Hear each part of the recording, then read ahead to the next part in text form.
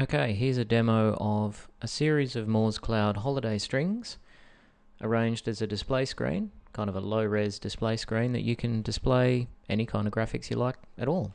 So here's just simple logo graphics. So if you're running a conference or something, you could put your own corporate logo on a great big screen that hangs down like like a beaded curtain really so you could display this on it and people can walk through it.